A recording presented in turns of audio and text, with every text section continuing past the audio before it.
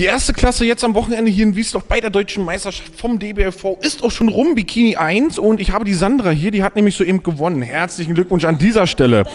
Sandra hat sich eben schon Sorgen gemacht. Mensch, ich habe noch Tränen in den Augen. Noch nicht anmachen. Doch, wir hauen die Kamera raus, weil wir wollen totale Emotionen haben. Wie fühlst du dich? Oh mein Gott, ich bin so glücklich. Ich kann das gerade gar nicht in Worte beschreiben. Ich hätte das niemals gedacht, dass ich Erste werde. Warum nicht? Die anderen Mädels sind auch alle so gut und man weiß ja einfach nie, was die Kampfrichter sehen wollen. Ne? Haben sie euch denn sehr auf der Bühne hin und her gescheucht Nein. in den Vergleichen? Nein, das war echt super gewesen.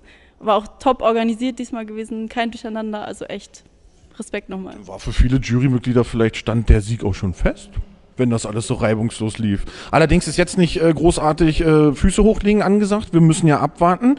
Zwei Konkurrenten schieben sie dir gleich noch rein, denn es geht für dich noch ums Gesamtsiegerstechen. Jetzt hast du allerdings den Klassensieg schon erreicht. Ist jetzt für dich so die deutsche Meisterschaft dieses Wochenende vollendet oder hast du jetzt noch Anspannung aufgrund des Gesamtsiegerstechens? Also natürlich, mein größter Traum wäre es jetzt noch, den Gesamtsiegerpokal zu bekommen. Der ist riesig, das ist so eine Schale, weißt du? Kann man gut Eis draus essen nachher.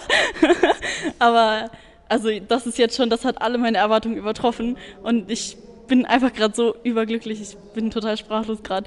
Dann würde ich sagen, nimm genau diese äh, Emotion, diese Menge an Freude, nimm die gleich mit ins Gesamtsiegerstechen. Umso größer wird das Grinsen und umso eher wird auch die Chance, dass die Schale kommt.